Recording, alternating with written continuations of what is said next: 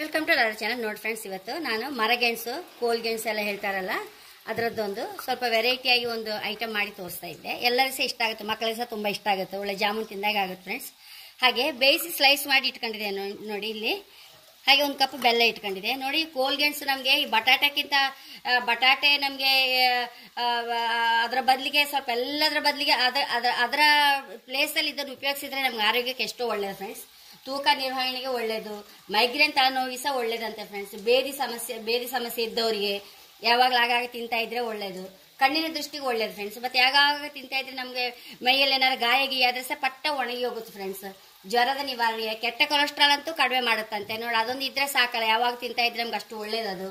ಬೊಜ್ಜು ಸಹ ಕಡಿಮೆ ಮಾಡುತ್ತಂತೆ ಫ್ರೆಂಡ್ಸ್ ಇಷ್ಟು ಪ್ರಯೋಜನಗಳಿಗಿರುವ ಇರುವ ಈ ಮರಗೆಣಸನ್ನು ನಾವು ಖಂಡಿತ ನಾವು ವಾರಕ್ಕೆ ಒಂದ್ಸಲಾರು ಅಂಗಡಿಯಲ್ಲಿ ಸಿಕ್ಕುವಾಗ ತಂದಿಟ್ಕೊಂಡು ಯಾವಾಗ ತಿಂತಾ ಇದ್ರೆ ನಮ್ಮ ಆರೋಗ್ಯ ಎಷ್ಟೋ ಸುಧಾರಿಸುತ್ತೆ ಫ್ರೆಂಡ್ಸ್ ನಮಗೆ ರೆಸಿಸ್ಟೆನ್ಸ್ ಪವರ್ ಸಹ ಹೆಚ್ಚಾಗುತ್ತೆ ಅಂತ ಹೇಳೋಕೆ ಇಷ್ಟಪಡ್ತೇನೆ ಫ್ರೆಂಡ್ಸ್ ಹಾಗೆ ಈಗ ನೋಡಿ, ಒಂದು ಬೌಲ್ ಬೆಲ್ಲ ತಕೊಂಡಿರಲ್ಲ ಇದನ್ನು ಫಸ್ಟ್ ಒಂದು ಪಾಕ ಪಾಕ ಮಾಡ್ಕೊಂಬ.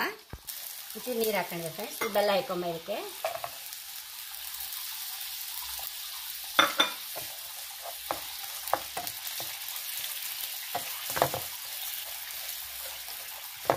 ಏಲಕ್ಕಿ ಹುಡಿ ಹಾಕೊಂಬ. ಇದು ತುಪ್ಪ ಸಾಯ್ಕೊಂಬರ್ತೀನಿ ನೋಡಿ ಈ ಬೇಯಿಸಿದನ್ನ ಹಾಕೊಂಬ.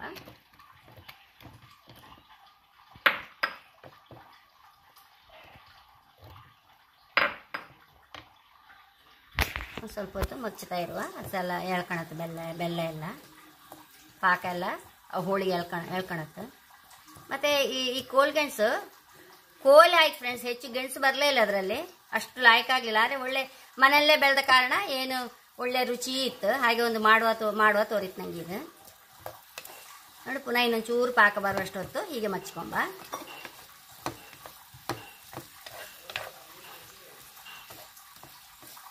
ನೋಡಿ ಪಾಕಲ್ಲಿ ಎಳ್ಕೊಂಡಿತ್ತು ನೋಡಿ, ಪಾಕ ದಪ್ಪ ಬಂದರೆ ಸರಿ ನೋಡಿ. ನೀರಿನಂಶ ಹೋಗಿ ಎಲ್ಲ ಪುನಃ ದಪ್ಪ ಆಯಿತು. ಬೋಲಿ ಟ್ರಾನ್ಸ್ಫರ್ ಮಾಡ್ಕೊಂಬ ಇದನ್ನು.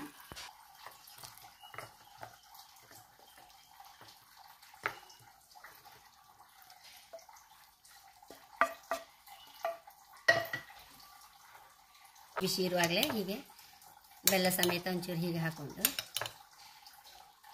ಹೀಗೆ ಹಾಕ್ಕೊಂಡು ಪುನಃ ಒಂಚೂರು ಹೀಗೆ ತುಪ್ಪ ಹಾಕೊಂಡು ತಿಂದರೆ ಹೈ ಕ್ಲಾಸ್ ಫ್ರೆಂಡ್ಸ್ ಮಕ್ಳಿಗಂತೂ ಖಂಡಿತ ಇಷ್ಟ ಆಗುತ್ತಿದ್ದು ಆರೋಗ್ಯಕ್ಕೆ ಸಹ ಎಷ್ಟೋ ಒಳ್ಳೆಯದು ಬೆಲ್ಲ ಸಹ, ಬೆಲ್ಲ ಅಲ್ಲ ಮತ್ತೆ, ಹಾಗೆ ಹೇಳಕ್ಕೆ ಇಷ್ಟಪಡ್ತೇನೆ.